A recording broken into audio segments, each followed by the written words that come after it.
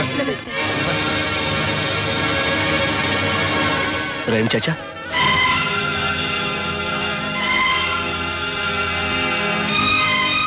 अपने नसीब से ऐसी उम्मीद नहीं थी मुझे कि मेरे अपने बहन की शादी की खबर मुझे गैरों से मिले। मुझे मुझे खबर क्यों नहीं दी गई रेम चाचा? हाँ? खबर देने कहाँ जाते बेटे?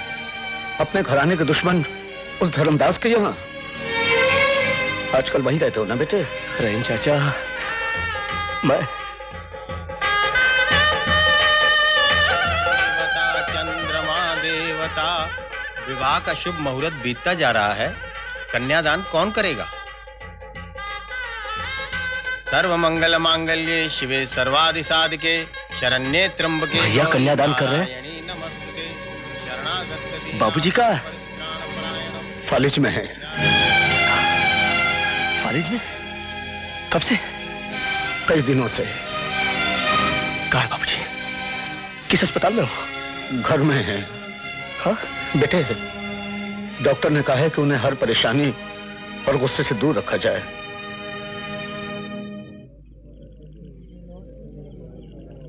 दूल्हा दुल्हन को आशीर्वाद दीजिए जी।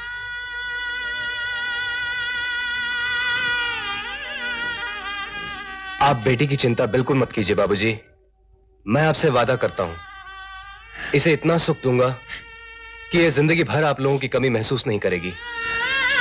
बाबूजी इस हालत में छोड़कर जाने को जी नहीं करता। जी नहीं करता बाबूजी। तू इनकी चिंता मत कर सुनाता। मैं जो हूँ ना मैं तुझसे वादा करता हूँ। बाबूजी ठीक होकर बहुत जल्द कलकत्ते में तेरा सुख देखने आएँगे है ना? चलो बेटी। चलो। बाबूजी। मत रो बेटी। यही औरत का नसीब है। एक प्यार भरा घर छोड़ के नया घराना बसाना पड़ता है।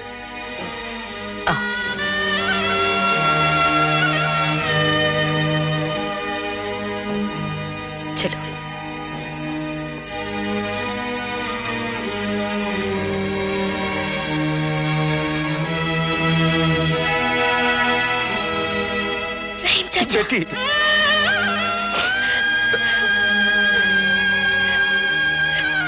जाओ बेटे जाओ। खुश रहो।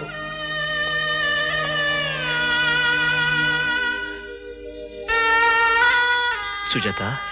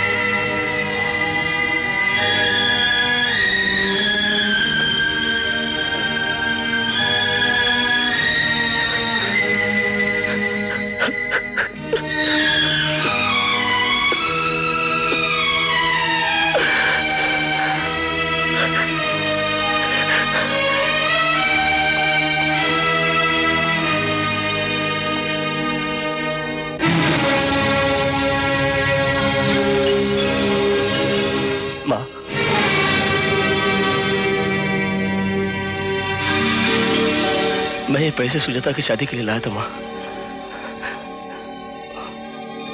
बाबूजी के इलाज की तू चिंता मत करना माँ। मैं हूँ ना मैं इलाज कराऊँगा। ये पैसे तो इस हराम की कमाई से बाबूजी का इलाज कराएगा। ले जाइए रुपए। और पड़ा रहे उस धर्मदास के चरणों पे।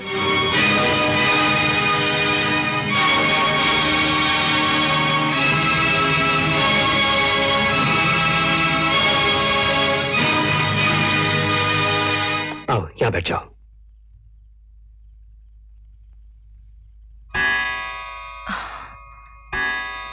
रात के नौ बज चुके हैं। अब मैं चलूँ? वो तुम जानो। मेरे लिए तो दिन और रात एक समान है। तुम पास हो तो उजाला दूर हो तो अंधेरा। सुबह होते ही आ जाऊँगा ना। अब जाने दो। रोज चले जाते हो। आज आज रात यहाँ रह जाओ ना। प्लीज़ नैना मेरी मजबूरी को समझो ना। बाबूजी की हालत तो तुम जानती हो। वो मेरी राह देखा करते हैं। उनकी देखभाल के लिए मुझे रात को घर लौटना ही पड़ता है। तो फिर मुझे वहाँ क्यों नहीं ले चलते? बड़ा अरमान है कि ससुर जी के चरण छू सकूँ। मैं अब तक उन्हें बता नहीं पाया कि मैंने तुमसे शादी कर ली है। उनकी हालत वैसे ही नाजुक है। थोड़ी सी समझ जाए तो मैं सब कुछ बता दूँगा। फिर मैं तुम्हारे साथ रात भी गुजार सकूँगा। जाने कब जागेंगे मेरे नसीब। मुझे इजाज़त हो जाने की। गुड नाइट है सुनो। क्या बात है? पत्नी से विदा लेने का तरीका यही होता है क्या? तो फिर कौन सा तरीका? हाँ। ठीक ही तो है। तुमने भी होटल से काम लिया। गुड नाइट कहकर गुड नाइट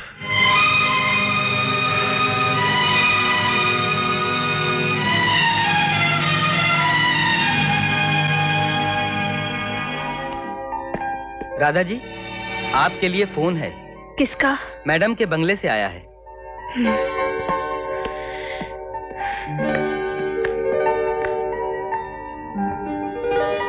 हेलो राधा।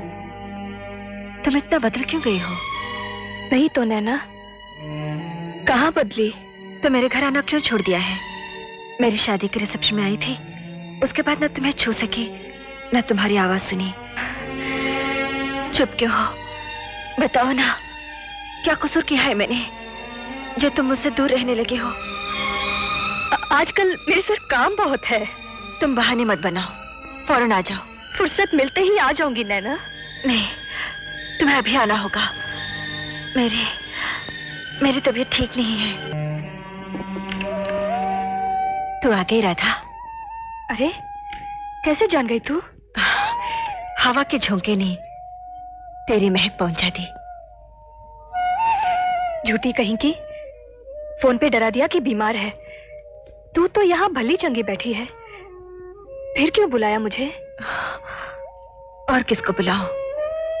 तेरे सिवा है ही कौन जिसके साथ अपना दुख दर्द बांट सकूँ?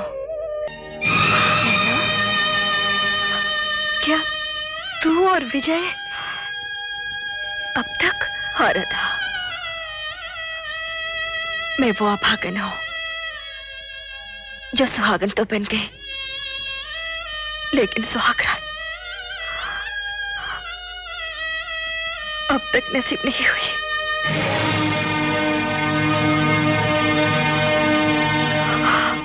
सोच भी नहीं सकती थी कि तुम इतने घटिया आदमी निकलोगे। एक अंधी लड़की की बेबसी का फ़ायदा उठाओगे।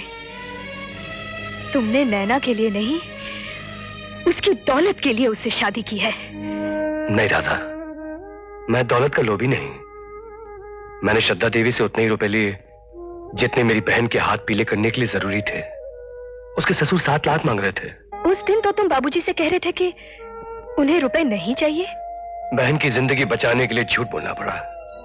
मुझे शादी भी करनी पड़ी। लेकिन भगवान जानता है कि मैंने वो रुपए कर्ज के तौर पे लिए हैं। एक दिन मैं ज़रूर वापस कर दूँगा। ओह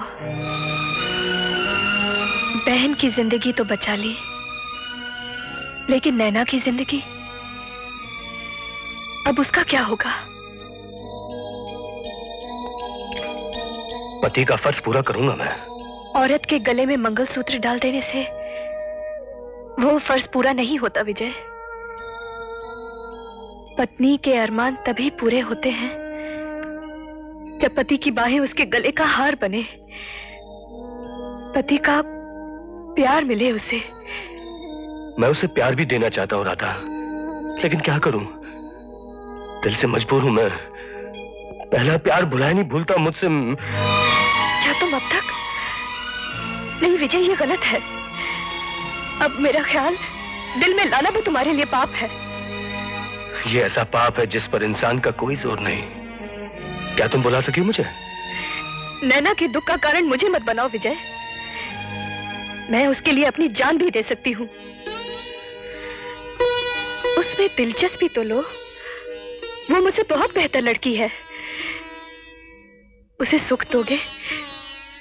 तो इतना सुख पाओगे कि कि जीवन स्वर्ग बन जाएगा तुम्हारे लिए। अब तो यही एक रास्ता है। सुख देकर सुखी होना सीख लू मैं।